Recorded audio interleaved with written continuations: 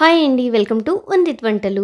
ఈరోజు వీడియోలో నేను మీకు ఎంతో టేస్టీ అయిన అలాగే హెల్దీ అయిన జొన్న పిండితో దోశ ఎలా వేసుకోవాలో చూపించబోతున్నాను. ఈ దోశతో పాటి ఇలా కొత్తగా ఒక్కసారి ఎర్రకారము మసాలాలు ట్రై చేయండి. డిఫరెంట్ స్టైల్లో చూపించాను చాలా టేస్టీగా ఉంది. ఒక్కసారి ఇలా ట్రై చేస్తే ఎప్పుడు ఇలాగే చేసుకుంటారు. వీడియోలోకి వెళ్ళబోయే ముందు మన ఛానల్ని ఎవరైనా ఫస్ట్ టైం చూస్తుంటే తప్పకుండా సబ్స్క్రైబ్ చేసుకోండి. పక్కనే ఉన్న బెల్ ఐకాన్ని ట్యాప్ చేయడం మాత్రం మర్చిపోకండి. అలా ట్యాప్ చేయడం వల్ల ఏ వీడియో చేసినా మీకు నోటిఫికేషన్ రూపంలో వస్తుంది. ఇక ఎంతో టేస్టీ అండ్ హెల్దీ అయిన దోశల్ని వీడియోలోకి వెళ్ళి ఎలా చేయాలో చూసేయండి. మొదటగా ఒక గిన్నె తీసుకొని మనం మెజర్మెంట్స్ అన్ని ఒకే బౌల్తో తీసుకోవాలి. ఇలా ఒక కప్పుతో మినపప్పుని తీసుకున్నాను. మినపప్పుని నీళ్ళు వేసి ఒకటికి రెండు సార్లు శుభ్రంగా కడిగి నీళ్ళు వేసి నానపెట్టుకోవాలి. అట్లీస్ట్ టూ అవర్స్ అయినా ఈ మినపప్పుని నానపెట్టుకోవాలి. మరి ఒక చిన్న కప్ తీసుకొని దాంట్లోకి వన్ టేబుల్ స్పూన్ మెంతుల్ని వేసుకొని మెంతుల్ని కూడా నానపెట్టుకోవాలి. ఒకసారి వాటర్ వేసి వంచేసి తర్వాత నానపెట్టుకోండి. ఏదైనా డస్ట్ ఉంటే కింద వెళ్ళిపోయేస్తుంది. ఇలా అన్నీ సపరేట్ సపరేట్గా నానపెట్టుకోవాలి. మెంతులు కూడా ఒక టూ అవర్స్ నానాలి. మనం ఏ కప్పుతో మినపప్పు తీసుకున్నామో అదే కప్పుతో బొరుగులు తీసుకోవాలి. బొరుగుల్ని కడిగి ఒకసారి తీసేసి మరీ నానపెట్టుకోవాలి. అప్పుడే దానికి ఉన్న డస్ట్ అంతా వెళ్ళిపోతుంది. చూస్తున్నారు కదా ఇలా డస్ట్ ఏమన్నా ఉంటే అంత నీళ్ళల్లోకి వచ్చేస్తుంది. బొరుగుల్ని మాత్రం అంతసేపు నానపెట్టాల్సిన అవసరం లేదు. పిండి పట్టుకునే ఒక పదహైదు నిమిషాల ముందు నానపెట్టుకుంటే సరిపోతుంది. ఇలా నానపెట్టుకున్న వాటన్నిటిని ఒక మిక్సీ జార్లోకి యాడ్ చేసుకోవాలి. ఒక టూ అవర్స్కి మినప్పప్పు అనేది బాగా నానిపోతుంది. మెంతులు దాంతోపాటు ఆ వాటర్ని కూడా వేసుకోవాలి. అలాగే నానపెట్టుకున్న బొరుగులు అన్నీ వేసి కొంచెం కొంచెం వాటర్ యాడ్ చేసుకుంటూ ఫైన్ పేస్ట్ వచ్చేలాగా మిక్సీకి పట్టుకోవాలి. వాటర్ ఏదైనా యాడ్ చేయాలి అనుకుంటే మినపప్పు నానపెట్టాం కదా ఆ వాటర్ని యాడ్ చేస్తూ పట్టుకోండి. ఇలా చూడండి పిండి అనేది ఇలా మెత్తగా పట్టుకోవాలి. ఇలా పట్టుకున్న దాంట్లోకి ఏ బౌల్తో అయితే మనం మినపప్పు మెజర్ తీసుకున్నామో అదే బౌల్తో జల్లించిన జొన్న పిండిని మూడు కప్పులు తీసుకోవాలి. ఇలా పిండి తీసుకొని ఒకసారి కలుపుకోవాలి. కలుపుకొని మనం మినపప్పు నానపెట్టాం కదా ఆ వాటర్ని వేసి ఒకసారి గంటెతో అంతా ఒకసారి కలుపుకోవాలి. కొంచెం కొంచెం వాటర్ యాడ్ చేస్తూ కలుపుకొని ఒక్కసారి మిక్సీకి పట్టుకోవాలి. మిక్సీకి పట్టాక పిండి అనేది ఇలాగ స్మూత్గా ఉంటుంది. ఇలా పట్టుకున్న పిండిని ఒక గిన్నెలోకి తీసుకోవాలి.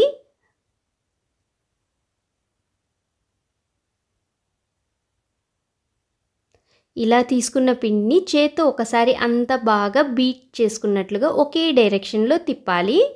దానివల్ల పిండి అనేది బాగా పులుస్తుంది. వెన్నెలాగా జారిపోతుంది కదండి పిండి? బ్యాటర్ కన్సిస్టెన్సీ ఇలా ఉంటుంది. ఇలాగ అంతా పట్టుకొని కలుపుకున్నాక మూత పెట్టి ఒక నైట్ అంతా పులైనివ్వాలి. ఎండుమిర్చి అండి. ఒక పది నుంచి పన్నెండు కాయలు తీసుకోవాలి. నేను బ్యాడిక్ కాయలు తీసుకున్నాను. నీళ్ళని బాగా కాగపెట్టి ఈ మిర్చిలోకి యాడ్ చేయాలి. ఈ మిర్చిని ఒక టెన్ టు ఫిఫ్టీన్ మినిట్స్ నాననివ్వాలి. అంతలోపల ఇంకొక ప్యాన్ పెట్టుకొని half tablespoon oil add చేయాలి.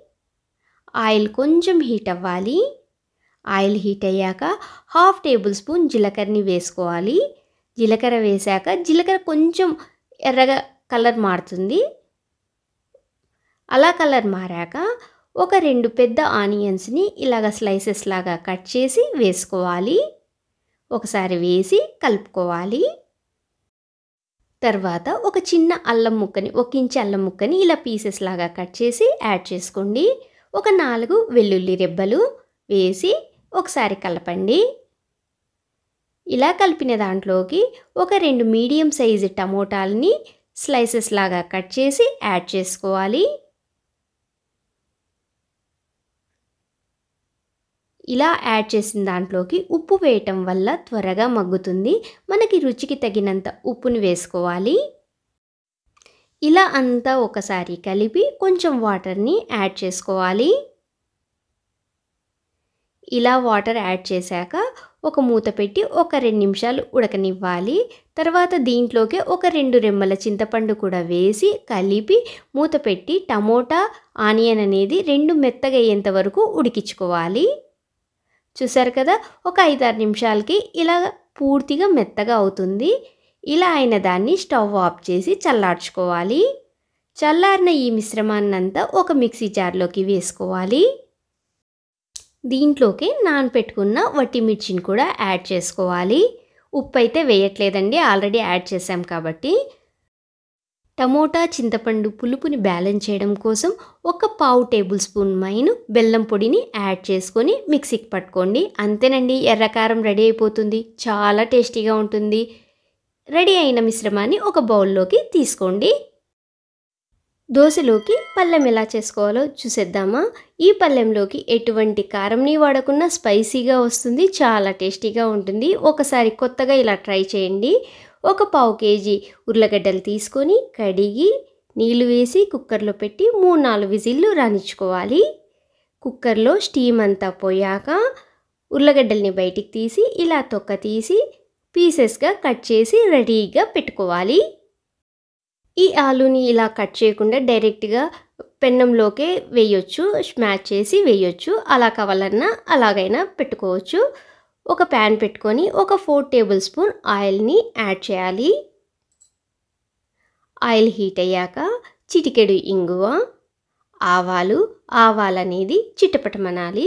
అప్పుడే మంచి అరోమాతో పాటు టేస్ట్ కూడా పెరుగుతుంది. ఇలా ఆవాలు చిటపటమన్నాక జీలకర్ర మినప్పప్పు శనగపప్పు కరివేపాకు అన్నీ వేసి లో ఫ్లేమ్లో పెట్టుకొని పప్పులన్నీ మంచి కలర్ వచ్చేంత వరకు వేయించుకోండి. ఇలా వేగిన దాంట్లోకి ఒక మూడు ఆనియన్ని ఇలాగ మీడియం సైజులో కట్ చేసి వేసుకోవాలి. ఆనియన్ అనేది పింక్ షేడ్ రావాలి. అంతలోపల మసాలాని రెడీ చేసుకుందాము. మసాలాలన్నీ ఒక చోట పెట్టుకోవాలి. ఆనియన్ త్వరగా మగ్గిపోతుంది కాబట్టి ధనియాల పొడి జీలకర్ర పొడి మసాలాలన్నీ ముందే ఒక బౌల్లోకి తీసేసుకోవాలండి. అప్పుడే త్వరగా అవుతుంది. చికెన్ మసాలా.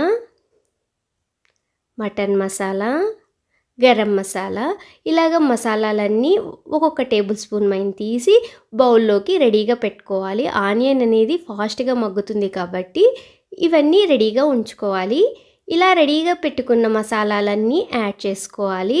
ఇలా మసాలాలు వేయటం వల్ల మంచి అరుమతో పాటి టేస్ట్ కూడా వస్తుంది. దీంట్లోకి ఎటువంటి కారంని యాడ్ చేయట్లేదు.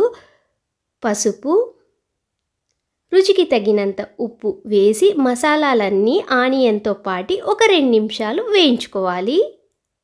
ఒకసారి ఇలా ట్రై చేయండి ఆలుని. మీరే అంటారు చాలా బాగుందని. ఎప్పుడు ఒకే ఆలు తిని బోర్ కొడితే ఇలా కూడా ఒకసారి ట్రై చేయండి చాలా బాగుంటుంది. ఇలా ఒక రెండు నిమిషాలకి మసాలాలన్నీ వేగిపోయాక కట్ చేసుకున్న ఆలుని వేసుకొని ఒకసారి కలుపుకోవాలి. ఒకసారి ఇలా కలుపుకొని ఒక్క రెండు నిమిషాలు మగ్గించుకుంటే సరిపోతుంది. ఆలు సైజ్ అనేది పీసెస్ అనేది మన ఇష్టం అండి. మెత్తగా అయినా చేసుకోవచ్చు లేదా ఇలాగ ఒప్పలొప్పలుగా అయినా పెట్టుకోవచ్చు.